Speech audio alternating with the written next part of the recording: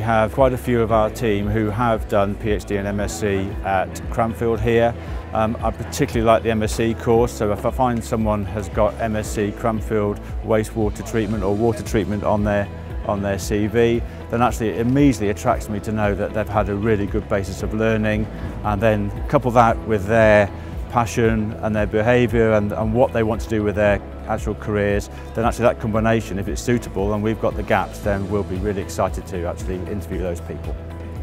The Masters at Cranfield really helped me by giving me a really good grounding into treatment processes, both water and wastewater. So that allowed me to take on a, a whole range of different jobs at Severn Trent with the confidence that I knew the basics and the theory behind operation and maintenance. So it's almost given me um, the baseline by which to progress. So one piece of advice I give students at Cranfield is be proactive, make links, come to events like this, take away contact details, follow them up, so I always um, remember people that have taken some effort to come back and speak to me or followed up with an email. So my advice would be be proactive and make as much of events like this as you possibly can.